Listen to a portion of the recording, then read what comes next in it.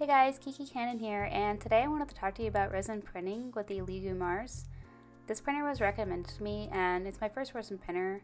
I've had it for about six months now. It's super easy to use, and all the items come out extremely smooth with very minimal cleanup. It's great for various cosplay accessories I've made, and also stuff for my shop. Be sure to check out some cosplay items I make in my shop I am Kannon Studios on Etsy. All these files were 3D modeled in Blender, but you can use whatever program you're comfortable with. The printer comes with its own slicing software, so just load your 3D file into the program. Once your file is done, load it onto a flash drive, which you will plug into the printer. First, you're going to level your printer. After it's leveled, slide the tray back in and screw it in. Make sure that it's in place. Once everything is ready to go, go ahead and plug in your flash drive to load your file.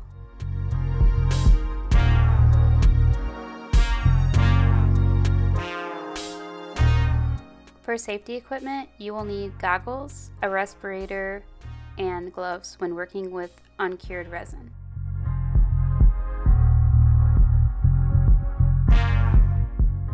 Any UV curing resin should work. I started to use ABS resin more because it's a bit more rigid.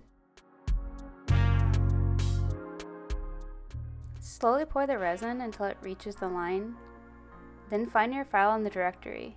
Once you find your file, press start. It will give you an estimated time and a percentage bar until your print is done.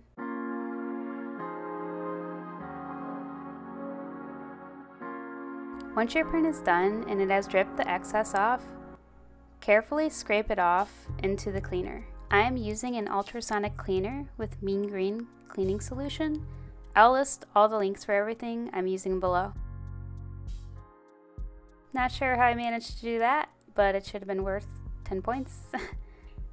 After you have it in the cleaner, go ahead and start it until it's done, shaking off all the excess.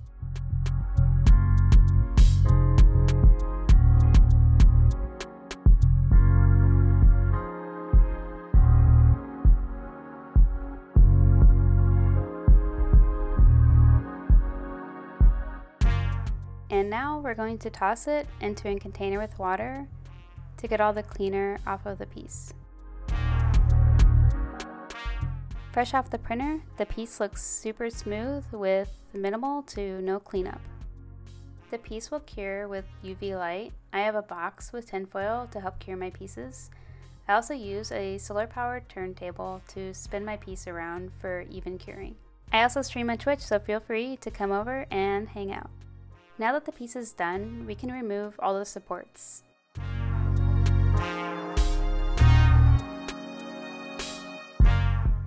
All the supports are super easy to remove. I might use snips or an X-Acto knife if I'm struggling, but generally I don't need them.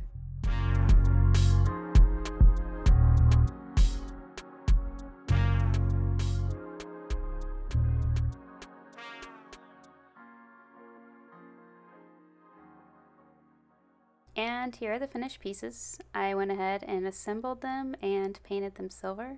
I'm still working on getting my gems ready to glue into the brooch, but other than that, my pieces are complete. I hope this video has helped you. Feel free to hit the like button. Also subscribe for more cosplay content.